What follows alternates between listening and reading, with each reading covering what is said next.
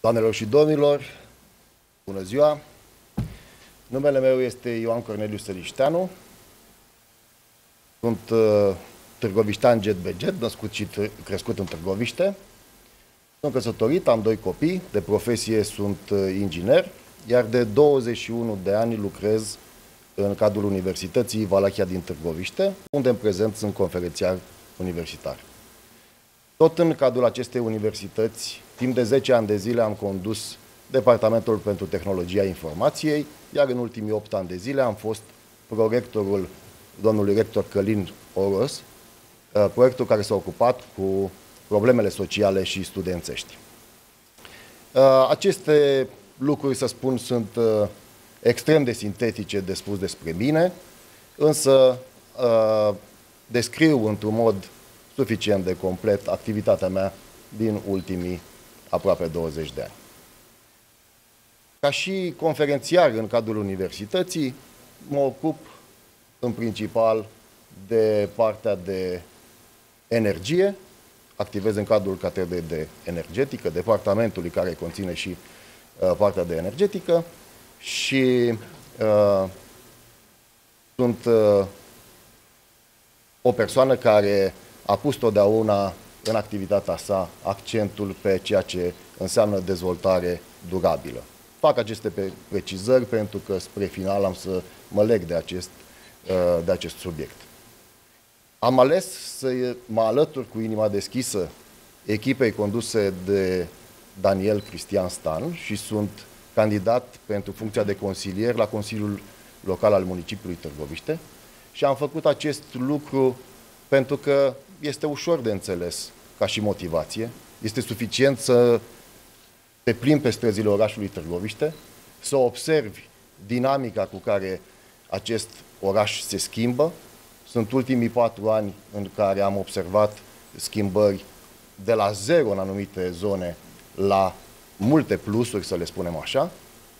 Sunt îmbunătățiri care apar uh, absolut zi de zi. Sigur că da, sunt multe lucruri care rămân de făcut, sunt multe lucruri care trebuie să atinse în continuare, însă aceste uh, lucruri sunt, am convingerea, până la urmă, că se vor uh, realiza în uh, următorul mandat. Ca și uh, cadru universitar, este imposibil să uh, nu observ cum uh, actuala administrație uh, locală a municipiului Târgoviște s-a plecat către învățământ, către infrastructura din învățământ, ca să fiu mai exact, și putem să facem o analiză care nu s-ar termina foarte rapid în ceea ce înseamnă investițiile în infrastructura școlară, preuniversitară, dar, atenție, și în cea universitară. Pentru că primarul Daniel Cristian Stan este primarul care s-a plecat către Universitatea Valachia din Târgoviște și care totdeauna, în aproape orice alocuțiune a domniei sale, pomenește Universitatea Valahia din Târgoviște și al cărui absolvent, așa cum spune și domnia sa cu mândrie, este. Acestea ar fi componentele generale ale motivației mele de a mă alătura echipei lui Cristian Stan. Dar există și o componentă personală. Iar această componentă personală înseamnă experiența mea personală pe care am avut-o cu primarul Daniel Cristian Stan. Din punctul meu de vedere, Cristian Stan este un om de cuvânt. Iar în România, cred că acesta este cel mai important lucru în momentul de față. Să fii om de cuvânt. Am uh, avut două proiecte împreună. Universitatea Valahia de Târgoviște cu primăria Consiliul uh, Municipiului Târgoviște. Primul dintre ele a fost legat de transportul gratuit al studenților. În momentul în care am preluat portofoliul, portofoliul de prorector al universității, uh, am încercat să găsesc care ar fi uh, facilitățile cele mai necesare și pe termen scurt de aplicat pentru studenții noștri. Țin să vă reamintesc că în campusul universitar funcționau căminele studențești, însă facultățile Universității Valahia de Târgoviște erau răspândite în tot orașul. Astfel că studenților noștri le era un pic greu să ajungă la facultate și în timp util. Însă unii dintre ei, după cum știm profilul păturilor sociale din județul Dâmbovița, unii dintre ei nu aveau bani să-și permită un taxi sau, mai știu și eu, mijloace de transport, autoturisme personale pentru a ajunge rapid la facultate. Și aceștia au uh, dorit transport în comun, pe care am, uh, idee uh, pe care am discutat-o la vremea respectivă cu primarul Daniel Cristian Stan. Iar răspunsul pe care domnul primar mi l-a dat a fost îmi place această idee, voi analiza și o vom face. Și a făcut-o. Este primul pas. În momentul în care un om îți spune că va face un lucru și îl face. Și se vede lucrul acesta în Târgoviște. O altă colaborare pe care am avut-o cu uh, instituția condusă de domnia sa a fost aceea a înființării în parteneriat a unui centru de cercetare în domeniul vehiculelor electrice. Vehiculele electrice fac parte din această dezvoltare sustenabilă, strategie de dezvoltare sustenabilă și a, a României.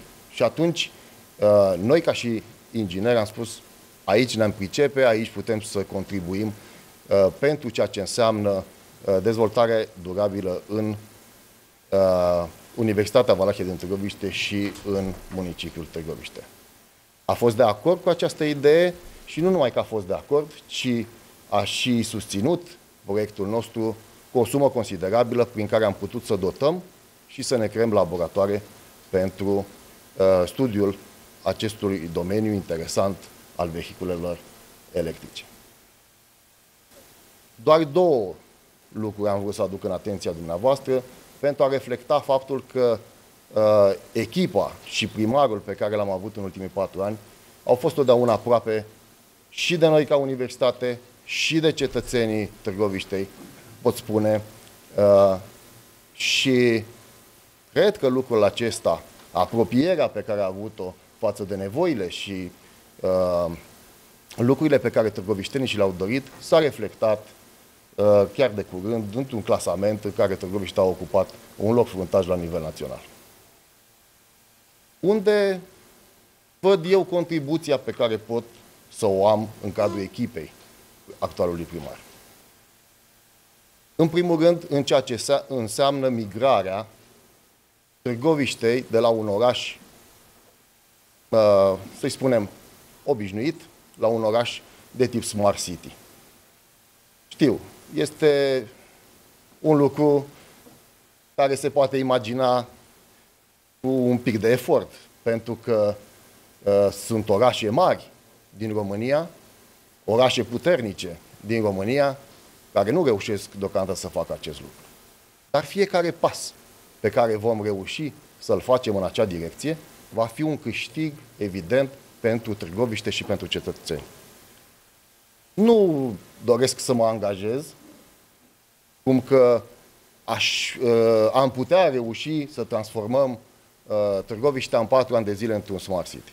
Nu, nu vreau să se înțeleagă acest lucru, dar important este că direcția spre care dorim să ne îndreptăm este aceasta. Nu se dorește o rămânere a Târgoviștii uh, la nivelul de astăzi, care este un nivel bun din punctul meu de vedere, ci evoluția acestui oraș către mai bine și către uh, lucruri și servicii care să fie mult mai uh, bune pentru cetățenii Târgoviști.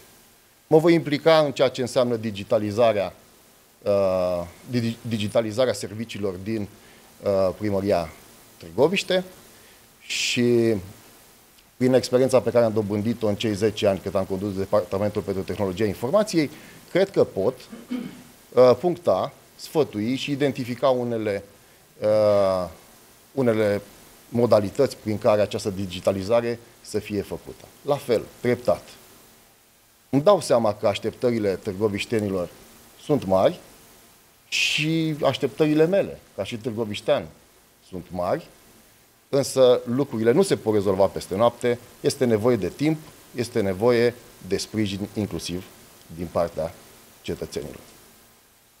Vă spuneam că background-ul meu ca și profesional este în ingineria energetică, De aceea nu excludem nici dezvoltarea unor parcuri pentru uh, parcuri, parcuri pentru energie regenerabilă, să o numim așa. Da? Parcuri de uh, partea de oliene nu se pretează în mod exclusiv în zona, în zona noastră Dâmboviței și Târgoviștei, dar uh, de ce nu în partea fotovoltaică, pentru a asigura uh, un necesar, uh, pentru a asigura energia atât de necesară unor servicii uh, unor servicii pe care uh, Primăria Târgoviște și Administrația Publică Locală dorește să le ofere. Și am să vă dau un simplu exemplu. Uh, s-a discutat suficient de mult, cred eu, poate nu toată lumea a înțeles pe deplin, dar s-a discutat despre acel proiect privind modernizarea transportului.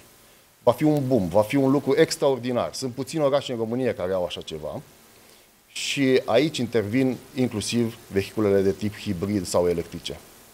Ei bine, la un moment dat, dacă vrei să oferi niște facilități pentru cetățeni fără a cheltui bani din bugetul local, va trebui să ai o așa numită independență energetică. Ei bine, despre idei de acest fel doresc să discut în Consiliul Local și asemenea lucruri doresc să susțin în Consiliul Local.